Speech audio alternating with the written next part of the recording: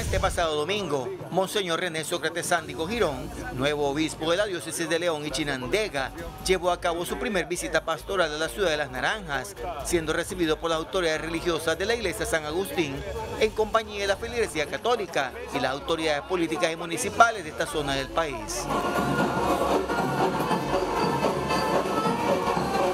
Agradeciéndole a Dios la oportunidad de ver este acontecimiento histórico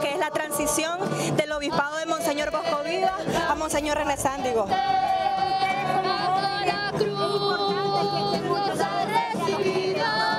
Así es porque de Dios no viene la vida y la juventud es un don que pasa rápido y hay que entregárselo a Él. Que busquemos a Dios, que seamos cristianos y que pongamos a Dios como centro de nuestra vida.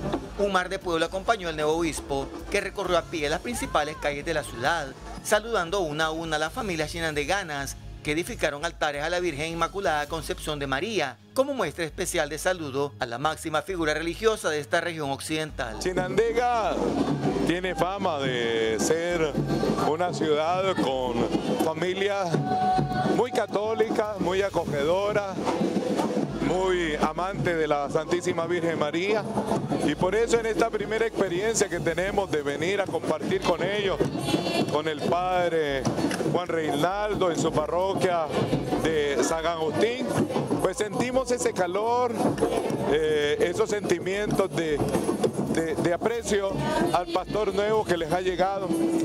Con facilidad uno en poco tiempo ya, ya, los tiene aquí en el corazón y eso nos motiva para, para seguirnos entregando más eh, en este trabajo de misión, de evangelización. Mucha fe cristiana y mariana, el pueblo se ha desbordado para darle la bienvenida y decirle, tenemos nuestros corazones abiertos para quererlo, para amarlo como usted se merece y bienvenido sea. Todos estamos muy emocionados para continuar de cerca con la, la iglesia católica, trabajando como hemos venido haciéndolo.